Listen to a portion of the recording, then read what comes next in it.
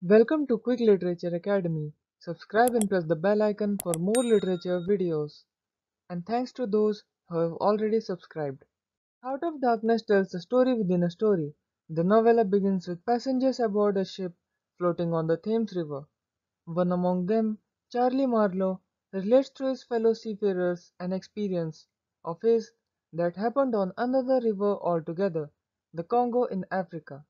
Marlow's story begins in what he calls the Sepulchral City, somewhere in Europe. There, the company, an unnamed organization running a colonial enterprise within the Belgian Congo, appoints him captain of a river steamer.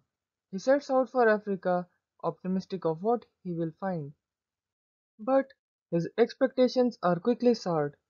From the instant he arrives, he is exposed to the evil of imperialism, witnessing the violence it inflicts upon the African people it exploits. As he proceeds, he begins to tell of a person named Kurtz, a colonial agent who is supposedly unmatched in his ability to acquire ivory from the continent's interior. Consistent with rumor, Kurtz has fallen ill, and perhaps mad as well, thereby jeopardizing the company's entire venture within the Congo. Marlow is given command of a steamer and a crew of Europeans and Africans to man it, the latter of whom Conrad shamelessly stereotypes as cannibals. As he penetrates deeper into the jungle, it becomes clear that his surroundings are impacting him psychologically. His journey isn't only into a geographical heart of darkness, but his own psychic interior, and perhaps into the darkened psychic interior of Western culture also. After encountering many obstacles along the way, Marlow's steamer finally makes it to Kurtz. Kurtz has taken command over a tribe of natives who he now employs to conduct raids on the encompassing regions.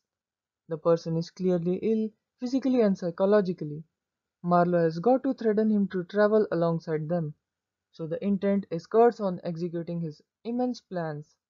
Because the steamer turns back the way it came, Marlow's crew fires upon the group of indigenous people previously under Kurtz's sway, which incorporates a queen figure described by Conrad with much eroticism and as exoticism.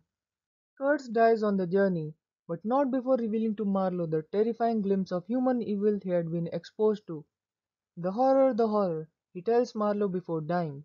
Marlow almost dies too, but he makes it back to the sepulchral city to recuperate. He is disdainful of the petty tribulations of Western culture that appear to occupy everyone around him. As he heals, he is visited by various characters from Kurtz's former life, the life he led before finding the dark interior of himself in Africa. A year after his return to Europe, Marlow visits Kurtz's partner. She is represented, as several of Heart of Darkness's female characters are, as naively sheltered from the awfulness of the planet, a state that Marlow hopes to preserve. When she asks about Kurtz's final words, Marlow lies. Your name, he tells her. Marlow's story ends there.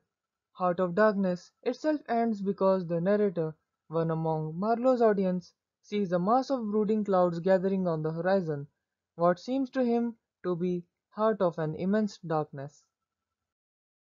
Thanks for watching. Do like and subscribe. Comment below if you want a video on some topic.